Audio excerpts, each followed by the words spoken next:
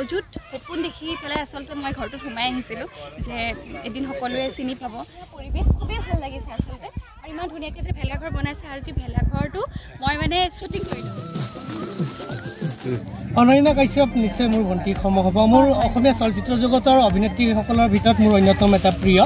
প্ৰথম আমাৰ নিচিনা পিছপৰা গাঁৱলৈ তেখেত আহিছে। দাদা আচলতে মই আচলতে যিহেতু মই আজি আহিছোঁ দাদাহঁতৰ গাঁৱত বহি খোৱা গাঁৱত গাঁৱত আহিছোঁ।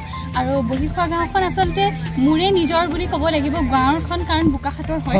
আৰু মই বোকাখাটৰ গতিকে আপুনি চাগে নিশ্চয় জানে। বহুত ধন্যবাদ দাদা। সকলোকে ধন্যবাদ জ্ঞাপন কৰিলোঁ আমাৰ চেনেলটোৰ তৰফৰ পৰা। আৰু দাদাৰ দাদাৰ চেনেলটোৰ নামটো কৈ দিছোঁ এইটো মোৰ চেনেল চলি আছে। প্ৰভুজ ভিলেজ লাইফ ভৱিষ্যতে গাঁৱত থকা সংস্কৃতি বিভিন্ন সাংস্কৃতিক দাদা এজন শিক্ষকো হয় টিচাৰ্ছ হয় হয়। এটা সঁচাকৈ বহুত ভাল লাগিলে লগ পাই। আজি আপোনালোকৰ গাঁৱত আহিও খুব ভাল লাগিলে। যিহেতু মই বোকাহাটৰে দাদাৰ চেনেলত কৈছোঁ আপোনালোকে দেখিবলৈ পাব দাদাৰ চেনেলত চালেও। সঁচা ভাল লাগিছে আৰু বোকাখাটত আচলতে এনেকৈ নাপাওঁৱেই। আজি মানে মোৰে সৌভাগ্য আহিলোঁ কৰিলোঁ আৰু চবেই সহযোগ কৰিলে। বহুত কেইগৰাকী আছে নিশ্চয়। সাৰ পানী পালে ওলাই যাব নিশ্চয়। একদম একদম। এতিয়া মই বোকাখাটৰ হয় আমি দিছোঁ বাৰু হয় হয়। কিবা এটাতো কৰিব নিশ্চয়। অলপ কৰিছোঁ আপোনালোকে প্ৰথমবাৰ মানে এনেকৈ এইফালে আহি পেলাই মই নিজৰ ববীয়াকৈ এনেকৈ ফটোশ্বুট কৰিছোঁ আৰু আচলতে মই গম। পোৱা নাছিলোঁ ভাইটি এজনে ক'লে যে অনন্যা কাশ্যপ আহিছে মই একদম ভাত নকওঁ মই পুৰা আইঅ। ডিউটিৰ পৰা আহিলোঁ তাৰপিছত দৌৰি আহিলোঁ আশীৰ্বাদ কৰিব নিশ্চয় দাদা কৰিম চাগে মানে ইমান সহযোগ কৰিছে সকলোৱে আহিছে মানে তেওঁ তেওঁলোকে গম পাইছে মানে যে এনেকৈ সৰু সৰু ভাইটি কেইজন মানে খেলি আছিলে চাগে নিশ্চয় তেওঁলোকে ক'লে তাৰপিছত মানে তেওঁলোক আহিলে আৰু এতিয়া কমেও ইয়াতে পঞ্চাছ সত্তৰজনমান মানে মানুহ আছে ইয়াৰে ওচৰৰ গাঁৱৰে ইমান যে ভাল লাগিছে আৰু লগ পাই আমিও গম পাওঁ যে আমাৰ ব্লগ চাই বোলে ভিডিঅ' চাই গান চাই। এই মৰমবোৰ আচলতে ডাইৰেক্ট তেনেকৈ যেতিয়া পাওঁ আচলতে খুব বেছি ভাল লাগে আমি মই এটা সৰু। কুৱেশ্যন এটা সুধিম বোকাখাটৰ নিচিনা। সৰু ঠাইৰ পৰা গৈ আপুনি। আজি সমগ্ৰ অসমীয়া চলচ্চিত্ৰ জগতত এক চিনাকি নাম হৈ পৰিল আমাৰ গাঁৱলৈ আজি আহি আপোনাৰ অনুভৱ কেনেকুৱা? বহুত বহুত বেছি ভাল লাগিছে কাৰণ মই কৈছোঁৱেই যে এইখন অকল আপোনাৰে গাঁও নহয় এইখন মোৰো গাঁও হয় কাৰণ যিহেতু মই বোকাখাটৰে আৰু সঁচাকৈ মোৰ বহুত বেছি ভাল লাগিছে আহি পেলাই। আৰু যিহেতু ক'লোৱে খুব এটা বন্ধুত্বমূলক পৰিৱেশ আৰু আহ, মই যিটো দেখিছোঁ সকলোৰে মাজত মানে এজন ব্যক্তি ইজন ব্যক্তিৰ লগত খুব এটা একতাৰ এটা মই হেৰি দেখিছোঁ। আহ, অলপ সময়ে আছোঁ আৰু মই যিহেতু শ্বুটিং কৰি আছোঁ ইয়াতে কোনো অসুবিধা দিয়া নাই। মোক মানে ইমানেই সহযোগ কৰিছে কিবা লাগে নেকি বা বা চাহ পানীৰো মোক মানে সুধিছিলে কিন্তু দুৰ্ভাগ্যবশতঃ আৰু শ্বুটিং আছে মোৰ আগলৈ আগত আছে। জানো গাঁৱত বহু প্ৰতিভা লুকাই বহুত বহুত আছে এইখিনিকো বহুত আছে। ভৱিষ্যতে এতিয়াই উলিয়াই অলপ- নিয়াৰ দেৰি আগতে মই অ। লগত মই মোৰ এটা গীত দুলহান বানামী গীতটো তাই ৰীল বনাইছে। মই আগতেও লগ পাইছোঁ নৃত্য কৰে বুলি জানো।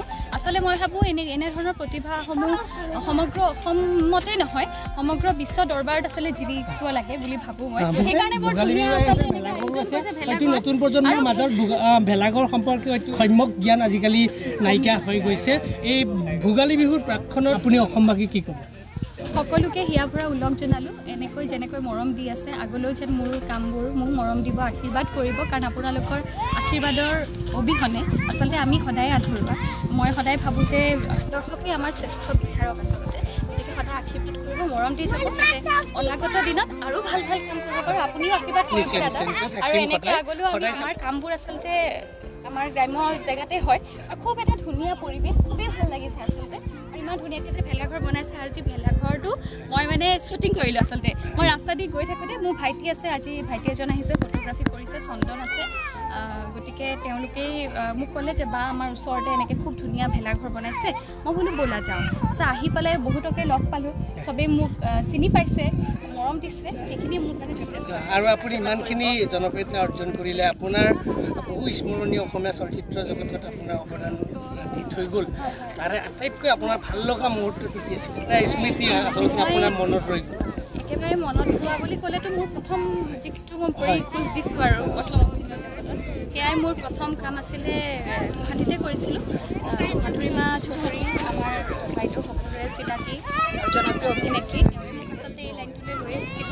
আহ, অনুৰাধা শৰ্মা পূজাৰীৰ এখন উপন্যাসৰ আধাৰত এখন আমি চিৰিয়েল কৰিছিলোঁ স্বাধীনতাৰ চোলা বুলি।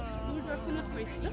সেয়া মই প্ৰথম কৰিছিলোঁ সোণাপুৰৰ এটা টেপেচীয়া ঘৰ য'ত আপুনি জানমণি চানমণি আগতে যে শ্বুটিং হয় যে সেই ঘৰটো। যিটো আপোনাৰ ধুনীয়া এটা যে ঘৰ থাকে যে। য'ত মেক্সিমাম মানে ভি চি ডিবোৰৰ শ্বুটিং হৈছিলে সেই ঘৰটোত আমাৰ শ্বুটিং হৈছিলে। তেতিয়া প্ৰথম সোমাই আহিছিলোঁ মানে। তেতিয়া মানে চকুত অযুত সপোন দেখি পেলাই আচলতে মই ঘৰটোত সোমাই আহিছিলোঁ যে এদিন সকলোৱে চিনি পাব। তেনেকুৱা এটা অযুত সপোন এটা বুকুত দুৰ্বাৰ হেঁপাহ লৈ পেলাই আচলতে সোমাই আহিছিলোঁ। গতিকে সেইখিনি সময়খিনি মোৰ কাৰণে সদায় সদায় সদায় মই মৃত্যুৰ মোৰ শেষ উশাহলৈকে সেইটো আচলতে মোৰ স্মৰণীয় এটা অনুভৱ। আৰু দাদাৰ চেনেলটো চাই থাকিব মৰম দিব। দাদাই ধুনীয়া ধুনীয়া কণ্টেণ্ট আপোনালোকৰ বাবে লৈ আহিব গাঁও অঞ্চলৰ। বিশেষকৈ দেখুৱাম বুলি কৈছে যিহেতু। আপোনালৈ শুভেচ্ছা থাকিলে দাদা। আৰু এই চেনেলটো বহুত মৰম দি যাতে বহুত আগুৱালে আগুৱাই লৈ যায়। ধন্যবাদ। আৰু লগতে ভোগালী বিহু আৰু নতুন বছৰৰ বহুত বহুত ভৰা উদযাপন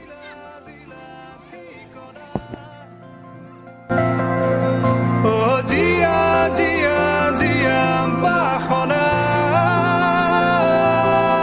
মোৰ হেঙুলীয়া